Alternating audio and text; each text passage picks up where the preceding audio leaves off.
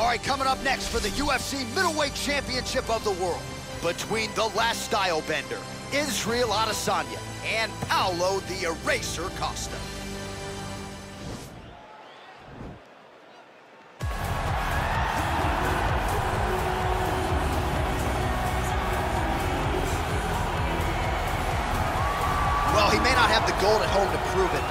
Believe on any given Saturday night you are looking live at the best middleweight on this roster, the Brazilian Paulo Costa, the artist formerly known as Borrachinha, but man, has he been erasing UFC competition left and right. His fight against Yoel Romero will be one that they are talking about deep into the next century. This man is the total package, and tonight looks to inch one step closer to future UFC Golden Boot.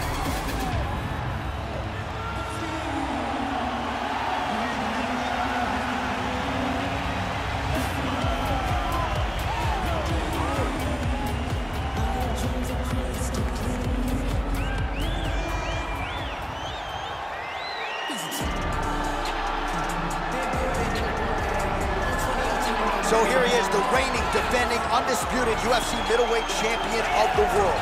This man ubiquitously regarded as the top 85er at present. Some people believe this is the greatest middleweight of all time. He certainly does, and he has goals even beyond that. He wants to be one of the greatest mixed martial arts athletes of all time, and in order to preserve that goal, this is a title defense, simply put, that he's got to have. I can leave a hundred thousand baby, and still count a hundred thousand later. Keep the position on that page. Start over, start over, bench me. As you said, he said me running the million if he said he checked me.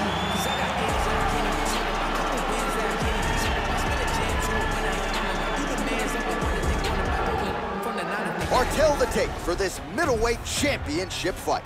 Costa is 29. Adesanya is 31. He is three inches taller. He will have an eight-inch reach advantage. To get us started, here is Bruce Buffer. Ladies and gentlemen, this is the main event of the evening. When the action begins, our referee in charge, Herb Dean. And now, this is the moment UFC fans around the world have been waiting for.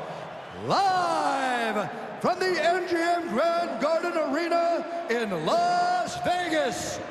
It's time!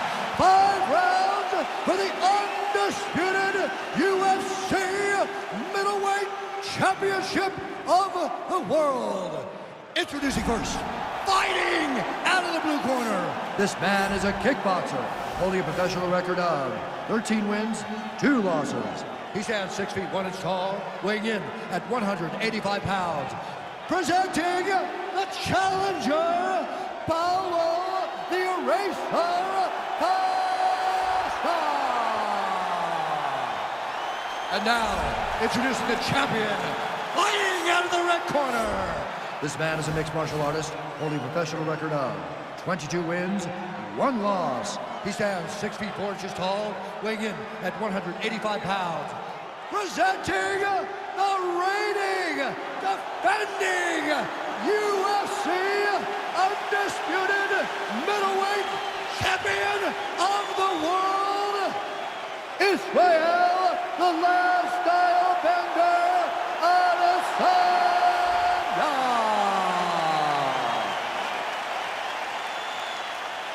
All right, this is for the championship. You've been given your instructions in the dressing room. Protect yourself at all times. Follow my instructions. You will have a clean fight. Touch gloves. Let's make it official.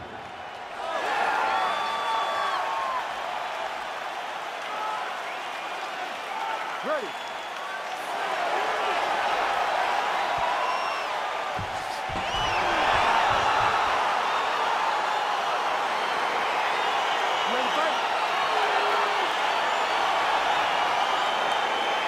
All right, so here we go with the start of this fight. I'm anxious, man. What a matchup it is, and it's going to be interesting. And it's going to be interesting to see who has the upper hand. It's going to be difficult to find out how this plays out, right? Striker versus well-rounded fighter. Who's going to be the one that's going to control where this fight takes place? Really making good use of his reach advantage there with that punch.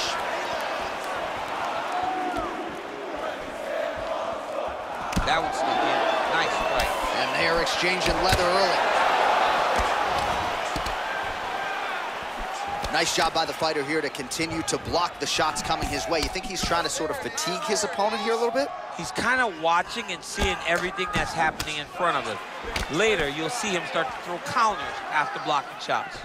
Oh, beautiful strike there by Israel Adesanya. He's got a lifetime in the game, not a lifetime in the UFC, but you see, this is a lifelong striker who is very dangerous with all limbs. Yeah, and when you're standing with Izzy, you're in trouble, man. You're under constant attack the whole time because you never know what he's going to hit you with. And right there, he lands the strike that he was looking for. Ooh, what a punch. Well, his opponent found an opening there to the body. Nice hook shot there, but as he leans forward in trying to get into his own striking range, he's going to pay the price there to the body. Got to be careful. You don't want to eat too many of those power hooks downstairs. Another shot lands upstairs. So just over 20 total strikes have now landed for the powerful Paulo Costa. All right, so he lands a jab there. Pretty nicely done, DC. You can really control a fight just knowing how to fight behind your jab. Two minutes to go in the round. Slips the punch. Oh! Oh, he's hurt bad. He's hurt bad, John. He's got to press him. He's got to go chase that finish down now. It's a big knee. And landed some nasty strikes.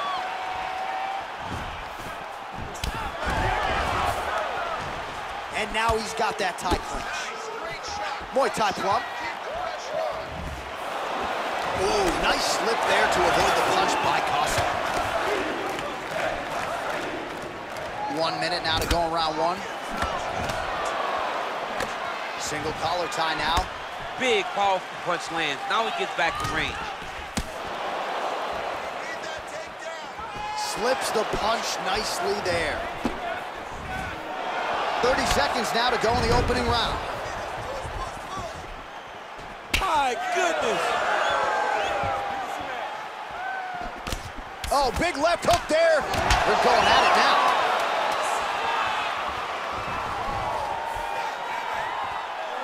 So a strong five minutes down.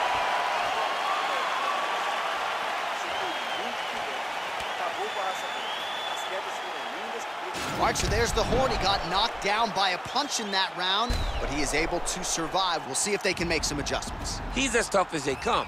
He took that shot and he kept plodding forward. He got off of his butt. He got himself off of the canvas and tried to get right back to work. But he cannot take many more of these. You don't want to be the guy that's testing how tough that your chin is. All right, with that, we now present round two. Israel Adesanya versus Paulo Costa.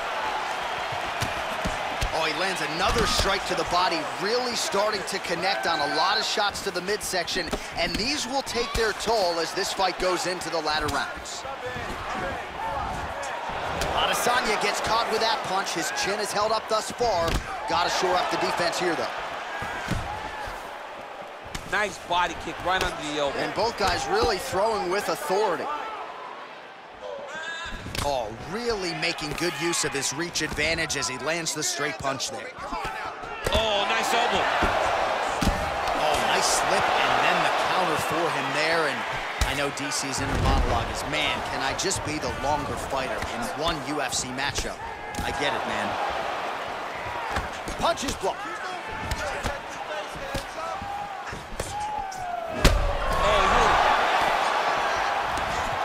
Whoa!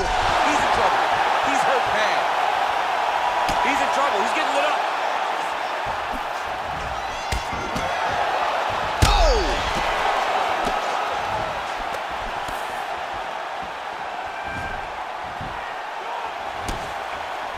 Oh! He didn't like that left hand. He's got him hurt here.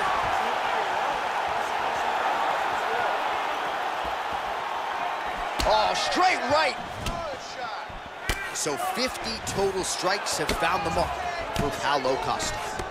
And landing with 35% accuracy thus far against Israel Adesanya.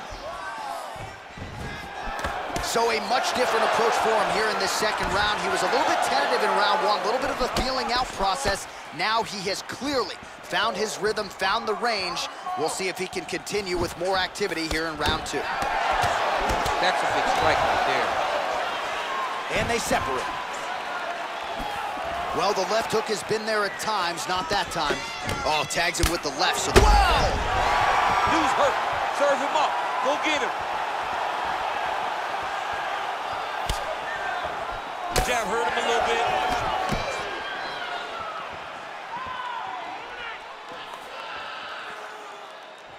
Missed with that right hand. Israel Adesanya gets caught with that punch. Not the easiest guy in the world to hit, but he got caught there. All right, well, he's landed some good shots tonight, but there's no three-piece, there's no soda. More often than not, it's one and done.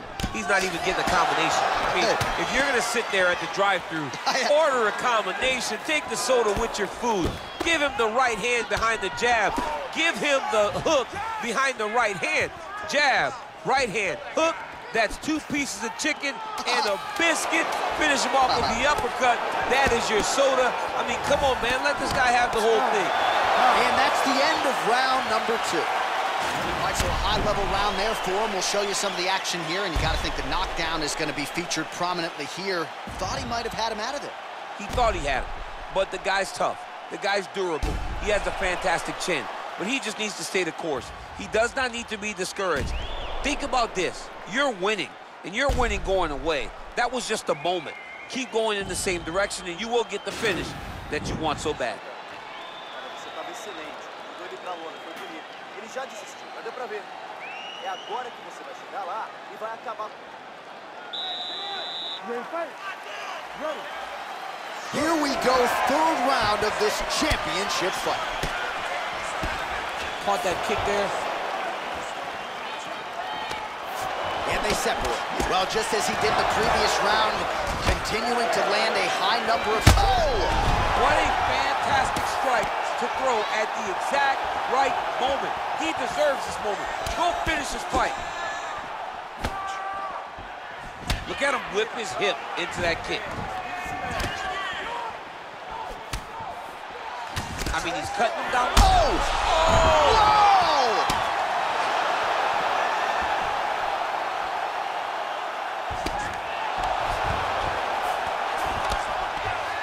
Well, he's staying pretty effective here, fighting off of his back. Nice strike landed there by the bottom by Adesanya. 72 total strikes have now landed for the powerful Paulo Costa. Well, not the most efficient effort today. The numbers landing with 34% accuracy thus far against Israel Adesanya. Three minutes remain in the round. Yes, that he hurt him in the last round. Same exact one. Big punch lands over the top. How's he gonna follow this one up? Right under the elbow, the body kick lands. Blocks the shot. Costa's lower jaw now starting to show signs of swelling. And oh! He needs to start looking to finish now because he's got his opponent hurt very bad. Oh! Oh, big left. Costa gets up, but he looks dazed. He looks confused. Oh, and he gives up his back. This is not a fighter you want anywhere near your backside. This could be it. I mean, this guy is so educated in chokes. He's so educated in terms of controlling positions. You're not going to roll around and scramble to get this guy off of you. He follows you with every bit of himself, and he's going to try and find that choke. And if you're not careful, he will latch onto an arm when you think you're right about to escape and get you with the armbar. Costa's back in full mount. All right, so you got to be careful playing on the ground with this guy. You don't want to mess around for too long. Working off of his back here. Looks like he may try to hip escape. Well, he gets up again here, but he looks hurt. Beautiful punch.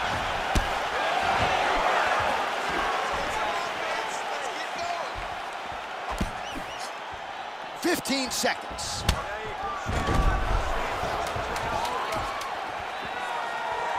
Nice kick there by Adesanya. Yeah, left hook found its target.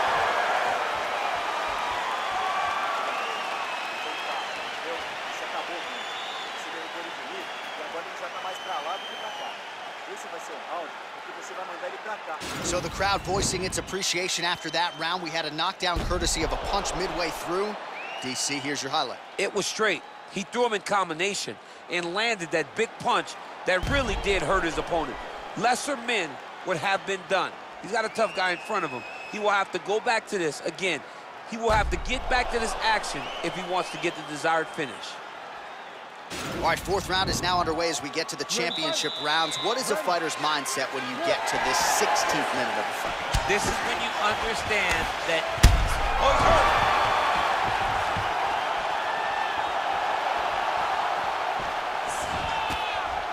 So he's really starting to put together some significant body shots here. These are going to take their toll as this fight goes on.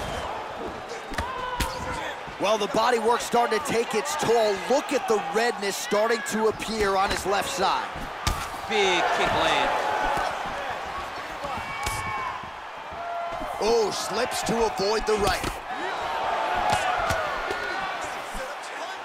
Big knee there. Man, Oh, he's hurt bad. He's hurt bad, John. He's got to press him. He's got to go chase that finish down now. Liver kick, if you take those kicks, it's going to shut your body off.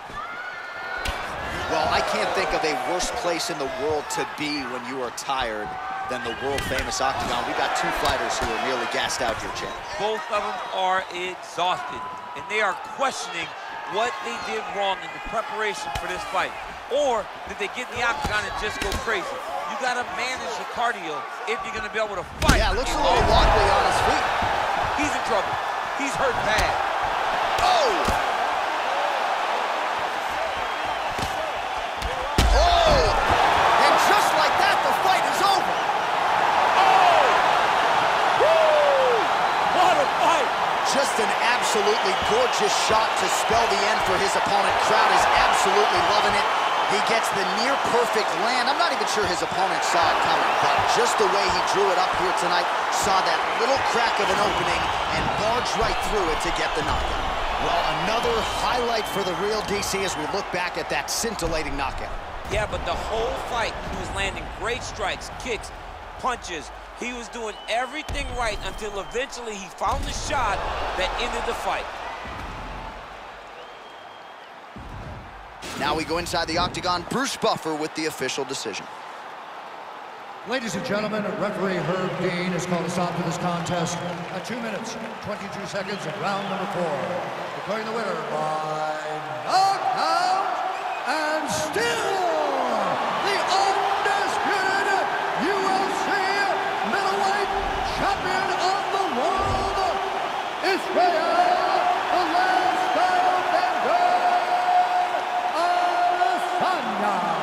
so there he is, the still UFC middleweight champion of the world. He has retained this title at 185 pounds for some time and, and showing no signs of slowing down. This is a weight that hasn't had many middleweight champions. Anderson Silva reigned for so long that